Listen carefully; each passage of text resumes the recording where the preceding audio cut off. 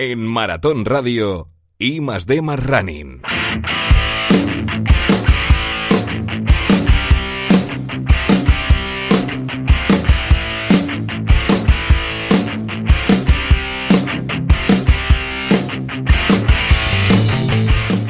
Hablamos de material en Maratón Radio y lo hacemos con Salva Portillo de Foro Atletismo. Hola Salva, ¿qué tal? Muy buenas. Hola Rafa. Hoy nos vas a hablar de los últimos modelos que habéis tenido la oportunidad de probar en Foro Atletismo, ¿no?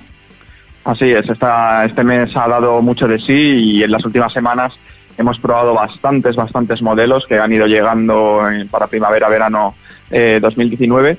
Y bueno, vamos a ver eh, qué nos ha contado eh, Jonathan, qué nos ha contado Rodrigo, Quique, y todos los demás probadores que han estado probando modelos en los últimos meses y que bueno ahora ya van saliendo pues todas las notas, que cuáles son las novedades más destacadas, lo mejor de cada modelo, lo que tienen que mejorar aún, porque bueno, el modelo perfecto por supuesto no existe y, a ver qué nos cuentan.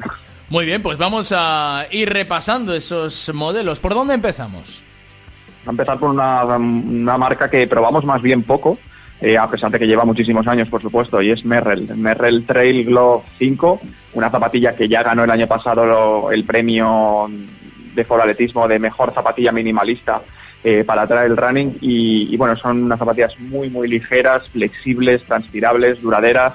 Es ya la quinta versión, pero la verdad es que son tremendamente versátiles y, y polivalentes en todos los sentidos. Aunque lleven el, el, de, la denominación de trail, ¿vale? Realmente se pueden utilizar también para asfalto y, bueno, para aquel que esté acostumbrado a este tipo de zapatillas más minimalistas, ¿no? Con menos protección, que son muy flexibles, que tienes que tener bien el, el pie adaptado a este tipo de zapatilla, pues el que esté bien adaptado va a encontrar en la Merrell Trail Glove una zapatilla muy, muy, muy buena. A Rodrigo le ha encantado, eh, la nota que le ha puesto ha sido un 8,6 como digo, tan buenas para trail como para asfalto. Una suela que da un gran rendimiento y con una tracción que, bueno, como está hecha para trail, pues si la utilizas para asfalto, incluso en días de lluvia, funcionará bastante bien.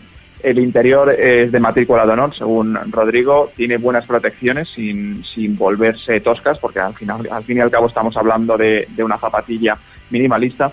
Y bueno, como puntos a mejorar se podría decir que la plantilla no es extraíble, y que algunos pueden notar demasiado arco por el interior, pero en todo lo demás es una zapatilla muy muy buena, un 8,6 que le ha puesto Rodrigo Borrego. Un 8,6, una nota alta para este primer modelo del que nos hablas. ¿Por dónde continuamos? Seguimos con la New Balance 1400 V6, una zapatilla muy, muy, muy voladora para ir incluso a ritmos por debajo de 3 por kilómetro. También en New Balance, por supuesto, tenemos la Hanzo, que aún no la hemos probado, pero a ver si la podemos sacar dentro de poquito. Eh, rompen la barrera de los 200 gramos, están por debajo de, esa barrera psicológica de, 200 gramos. Y, bueno, es una, es una saga, la 1400, que hemos estado probando en los últimos años y que ha ido mejorando muchísimo. Es una de las mejores zapatillas eh, de running, sobre todo de voladoras. En 2018 fue la subcampeona, solo por detrás de la Nike Vaporfly 4%, que es algo que hice ya bastante de esta zapatilla. De hecho, decíamos que era la mejor zapatilla para correr rápido que no sea una Vaporfly, ¿no? que hay que recurrir a, a los 250 euros de rigor. Eh, Rodrigo también ha probado esta zapatilla, le ha encantado, por supuesto. Yo ya conozco a Rodrigo y sabía que le iba a encantar porque este tipo de zapatilla siempre le gusta mucho porque él es un corredor, quien lo conozca sabrá que es un corredor muy ligero, que, siempre ha ido muy rápido, mm, lo que podríamos decir incluso un semi-élite en su, en su época. Y, bueno, pues le ha podido dar caña y, y, ha comprobado que efectivamente la 1400 V6 sigue dando un muy buen rendimiento. Un 9,2, muy polivalentes, agarre de la suela brutal, como no puede ser de otra manera en este tipo de zapatillas dinámica de la pisada excelente, mucha respuesta, pero al mismo tiempo también relativamente amortiguada para ser el, para el, para el tipo de zapatilla que es, y con una horma amplia y con muy buena sujeción. Como punto a mejorar, Rodrigo dice que bueno, los bordes de la lengüeta se pueden doblar hacia adentro si te las calzas con prisas, pero bueno, es un detalle realmente menor. 9,2 para este zapatillón, que es la 1400 V6 de New Balance. Bueno, pues también una nota altísima para ese modelo de New Balance. ¿De cuál más nos hablas? Pues seguimos con una zapatilla completamente diferente que es la ASICS Gel Pulse 10. La Pulse está un peldaño por debajo creo que mucha gente ya la conoce porque, bueno, lleva 10 versiones, pero está un peldaño por debajo de la Nimbus 21 o de la Cumulus 20 en cuanto a calidad, pero también en cuanto a, cantidad de amortiguación. Mucha gente no necesita tanta amortiguación como para tener que recurrir a una zapatilla de entrenamiento de, tanta, con tanta amortiguación, como digo, y, al final la diferencia de precio también es lo que marca, ¿no? Porque nos encontramos con una zapatilla de muy buena relación calidad-precio, como, como le gusta decir a Rodrigo, que también ha probado estas, son buenas, bonitas y baratas, y, bueno, al final pues es lo que encontramos, eh, nos encontramos con este tipo de zapatillas. Rodrigo le ha puesto un 7,9, pero que no nos engañe la nota relativamente menor eh, mm. con respecto a los modelos anteriores porque este modelo lo podemos encontrar por 70, 60 alrededor de, ese precio, aunque su precio recomendado según ASICS es de 100, pero bueno, al final como siempre pasa, con ofertas sale mucho más barato. Lo mejor de la zapatilla, como es normal, es la relación calidad-precio que decía, la durabilidad, que para, para la zapatilla que es pues sobre todo de la suela es un punto a destacar.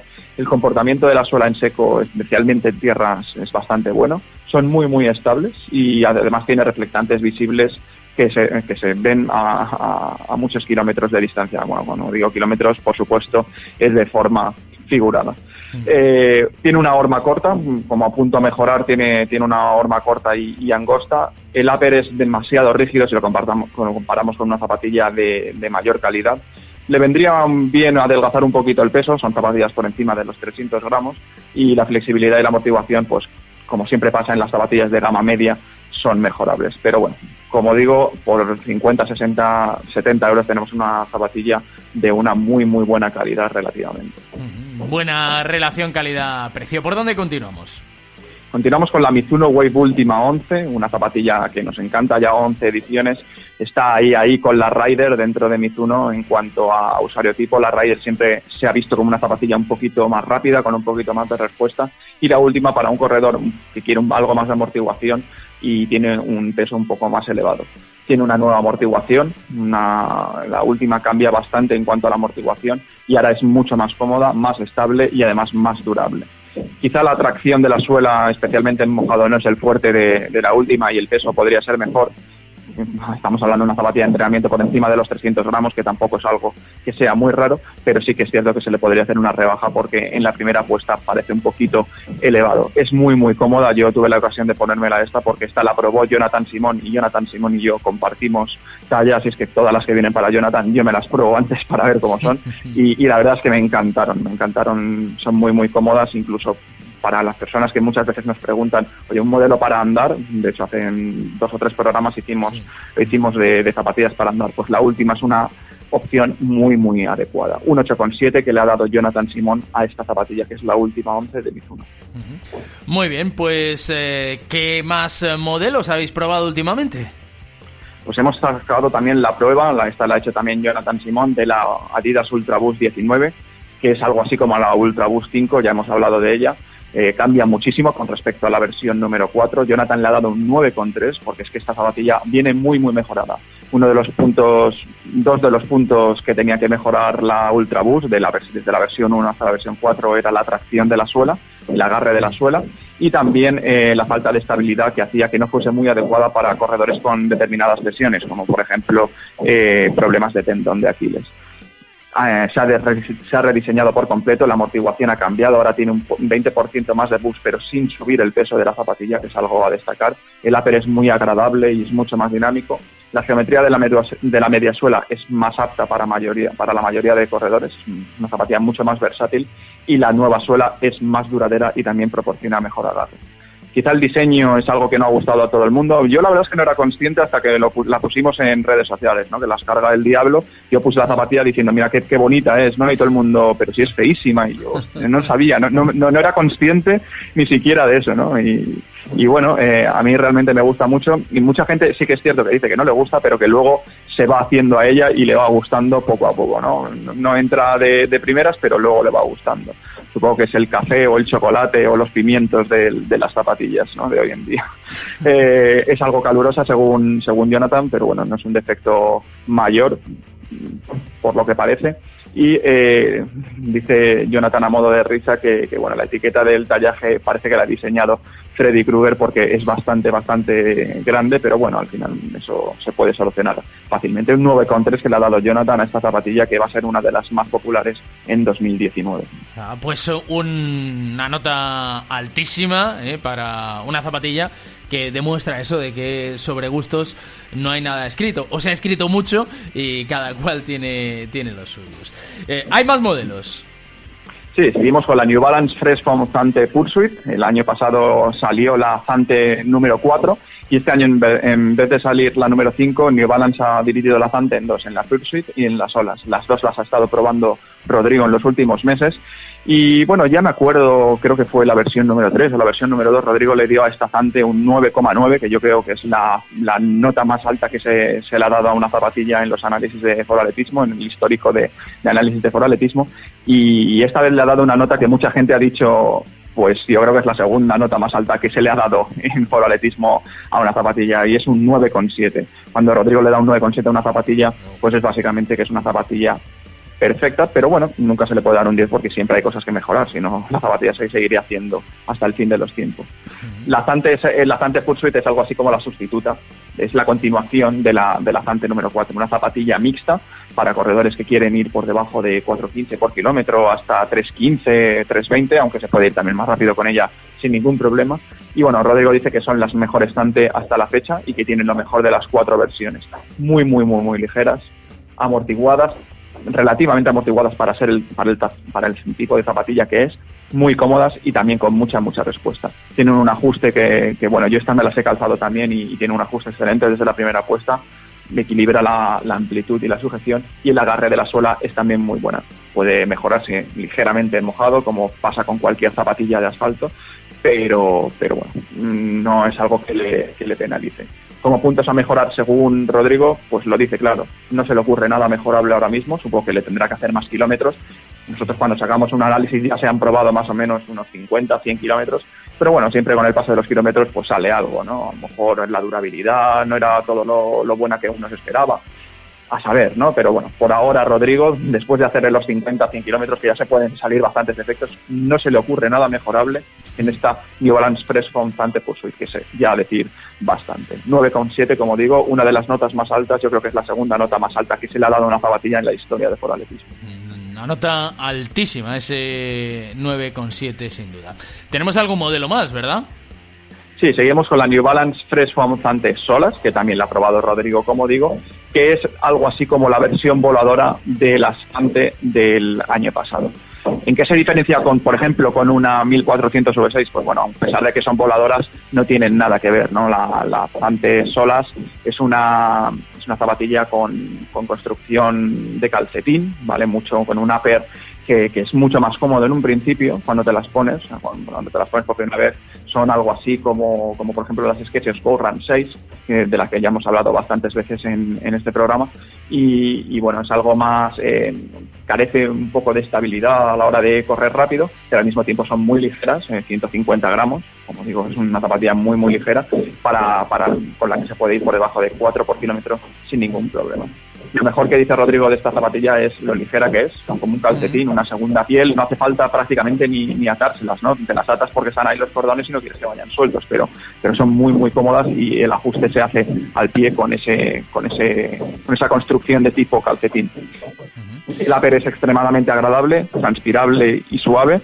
Son relativamente amortiguadas para, para ser unas zapatillas voladoras y, y mucha sensibilidad. Se nota mucho el terreno cuando corres con ellas. ¿no? No, son, no llegan a ser minimalistas, ni siquiera diría que de natural running, pero, pero bueno, se pueden utilizar para utilizar la técnica de carrera. Como puntos a mejorar está el agarre en superficies totalmente lisas, que es algo mejorable. La sujeción del upper, que bueno, cuando quieres ir muy muy rápido quizá es algo que, se echa en falta, algo que también le pasaba a las Sketches Go Run 6 y que carece de reflectantes. Rodrigo le ha dado un 8,4, es una primera versión de una zapatilla eh, muy muy innovadora, así que seguramente New Balance la mejorará para el año que viene. Muy bien. Pues eh, hemos analizado siete modelos, creo que tenéis alguno más en cartera, ¿verdad? Sí, sí, eh, ya acaban de anunciarse en la, en la última semana dos modelos que, que, darán mucho que hablar. Por supuesto, mucha gente ya habrá oído de las Nike Zoom X Vaporfly Next. No, yo no sé ni cómo se, cómo se dice, ¿no? Porque le ponen luego un signo de porcentaje después del Next Eh, pasó un poco con, el, con la 4%. Es la sustituta, por cierto, de las, de las Vaporfly 4% con las que se batieron el récord del mundo. Y las Next son las que con las que corrió Kipchoge hace una semana, bueno, Kipchoge y compañía eh, hace una semana en el Maratón de Londres. Son las zapatillas que utilizarán los atletas de élite patrocinados por la marca y seguramente todos los que no estén patrocinados por ninguna marca y que se las puedan costear porque, bueno, como, como pasó con las Vaporfly, vienen con un precio premio de 275 euros, suben 25 euros, que, bueno, dentro de las Vaporfly no parece mucho, pero son 25 euros que quieras que no, suman. Ya están, ya se pueden comprar, eh, se, pueden comprar en Londres, en Japón y creo que en la Nike Store eh, en breve se podrán también comprar aquí para, para España vienen en principio muy mejoradas con una estética muy muy llamativa, ya lo era la Vaporfly, se mantiene la fibra, la placa de fibra de carbono que tantos éxitos le ha dado a la, a la Vaporfly 4% y el peso se mantiene en 190 gramos. Tiene un 15% más de Zoom X en la media suela, se baja el drop de 11 a 8 milímetros, eh, se ha distribuido el Zoom X a lo largo de la zapatilla para que cambie la geometría bastante y también se ha mm, modificado la suela para que la tracción en mojado sea mejor, que es algo que los atletas de la marca echaban en falta cuando llovía en un maratón, que tampoco es que sea tan raro. Eh, no la hemos probado aún, pero esperamos probarla en los próximos meses y, hablaremos de ella, por supuesto. Ah, y hay otro modelo más, ¿no? Sí, un, modelo que se ha anunciado apenas hace unos días, que es la Six Gel Cumulus 21, 21 versiones ya de la Cumulus, eh, que es la hermana pequeña de la Six Gel Nimbus 21. También lleva 21 ediciones su hermana mayor, una zapatilla que es ideal para como zapatilla de entrenamiento para el día a día, para corredores que no necesitan tanta amortiguación como tiene la, la Nimbus y que está por 20, 30 euros menos también que la Nimbus. Una, viene con algunos cambios en el upper, viene también con algunos cambios en la suela y con un tacto de la amortiguación más blando. También la empezaremos a probar en breve y hablaremos de ella en las próximas semanas. Perfecto, pues no sé si te queda alguna cosa más, Salva. No, hemos repasado siete novedades que hemos eh, probado en las últimas semanas, dos que, hablaremos de ellas próximamente y, bueno, seguiremos probando cosas porque ahora mismo, pues bueno, los probadores tienen muchas, muchas en la cola. Perfecto, pues eh, estaremos atentos y por supuesto lo contaremos. Salva Portillo, For Atletismo, muchísimas gracias. Venga, hasta la semana que viene.